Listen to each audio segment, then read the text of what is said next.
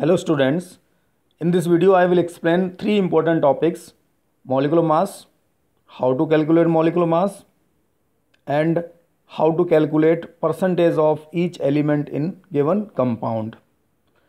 Students, molecular mass is the sum of the masses of all atoms present in any compound. Let us take few examples. In first example, mass of the sodium chloride is calculated. Formula of sodium chloride is NaCl and masses for these atoms are sodium 23, chlorine 35.5.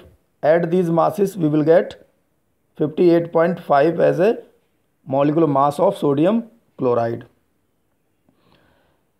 This mass do not have any unit and it is generally expressed in AMU. It is known as relative molecular mass and AMU means atomic molecular mass. When we express this mass in gram, then such mass will be known as gram molecular mass.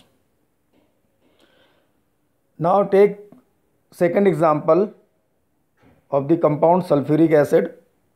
Formula is H2SO4. Masses for these atoms hydrogen 1, sulfur 32, oxygen 16.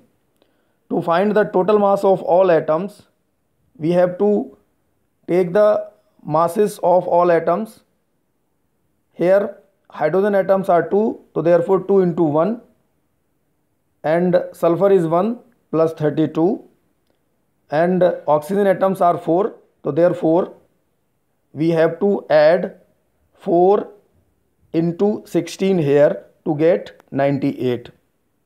In the same way, you can also get the explanation through these examples. Now come to next topic that is percentage composition of a compound. Students, compound consists of two or more different elements. To find out the composition, percentage composition of a compound, first we have to find the molecular mass of the compound. Here example is explained for percentage of sodium. In the sodium carbonate total mass of the sodium carbonate is 106 now to find the percentage of sodium in sodium carbonate we have to put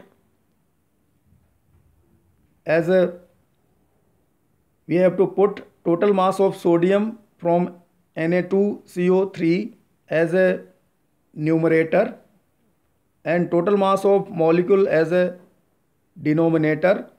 Multiply it by 100 so here two atoms are there for the sodium.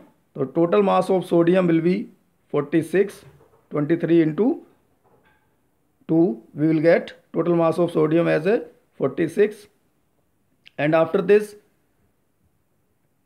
divide by 100 and multi uh, divide by 106 and multiply by 100 we will get 43.4 as a percentage of sodium in this sodium carbonate.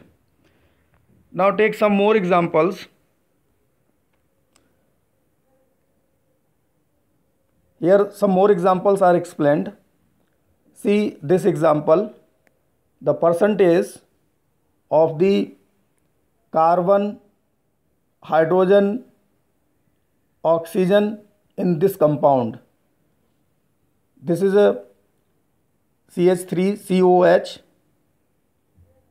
acetic acid and mass for this compound will be 16 60 gram per mole and to find the percentage of all elements then we have to follow the same steps as I explained.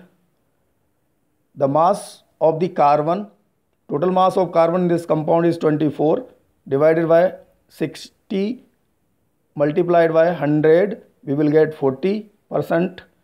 And for the hydrogen total mass of the hydrogen atoms are 4 divided by 60 multiplied by 100 we will get we will get 6 7 now the percentage for oxygen in this acetic acid total mass of all two oxygen atoms